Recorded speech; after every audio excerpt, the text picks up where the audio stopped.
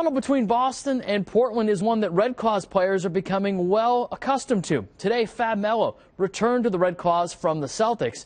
But nobody is more familiar with being called up and sent down than Kris Joseph. The Celtics' second round pick was called up and sent down six times over an 11 day span earlier this month. Over that time, he's played in three Celtics games and two for the Red Claws.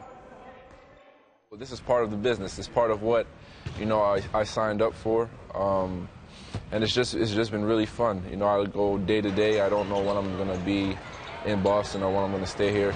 Do you drive yourself down there? No, I drive myself. I drive myself. So 95, I know 95 like the back of my hand.